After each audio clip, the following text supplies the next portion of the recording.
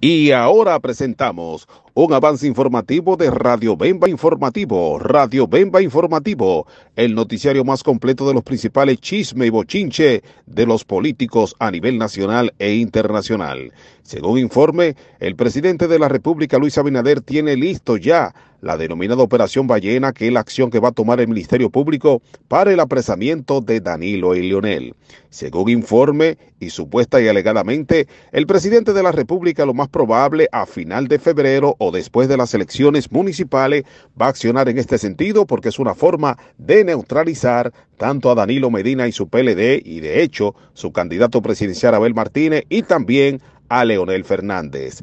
Estas son las informaciones que han llegado recientemente a la sala de redacción de Radio Bemba Informativo. Les informó Junior Betances. Mantenga la sintonía porque tenemos mucho más.